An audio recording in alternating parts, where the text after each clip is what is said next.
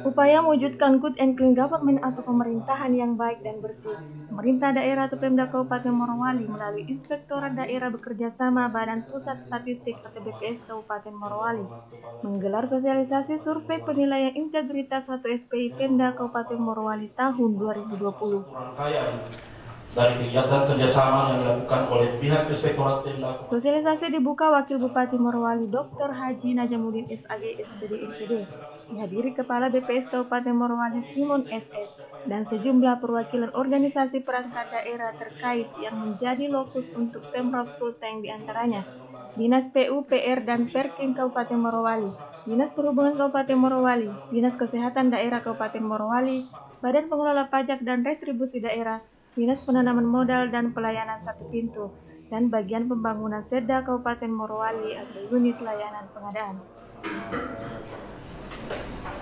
Bismillahirrahmanirrahim. Alhamdulillah nahmaduhu wa nasta'inuhu wa nastaghfiruh. SPI merupakan acuan program pencegahan korupsi dan peningkatan integritas di pemerintahan daerah untuk dijadikan sebagai dasar penyusunan program integritas anti korupsi. Dalam mensukseskan survei integritas, inspektorat harus berperan sebagai aparat pengawasan internal pemerintah yang berkualitas dan menjamin suatu kegiatan dapat berjalan secara efektif, efisien, dan sesuai dengan aturan dalam mencapai tujuan organisasi. Hal tersebut dikatakan Wakil Bupati Najamuddin saat membuka SPI di Aula Inspektorat Daerah Rabu 26 Agustus 2020. yakni rendahnya integritas birokrasi.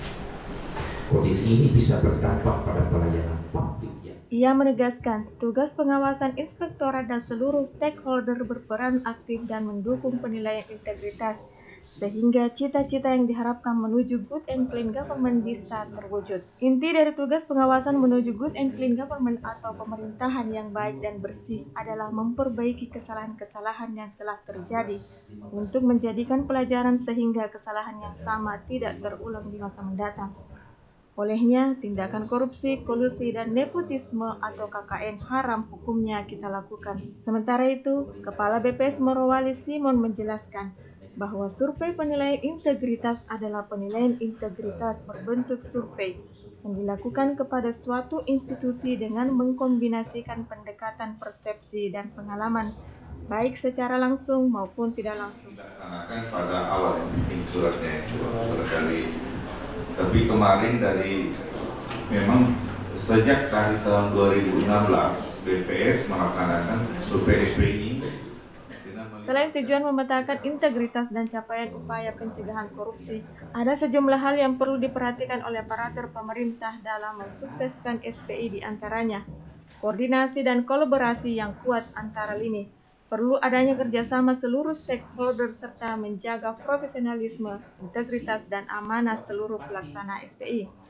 Hal tersebut untuk melancarkan laporan hasil penilaian ke server langsung Komisi Pemberantasan Korupsi.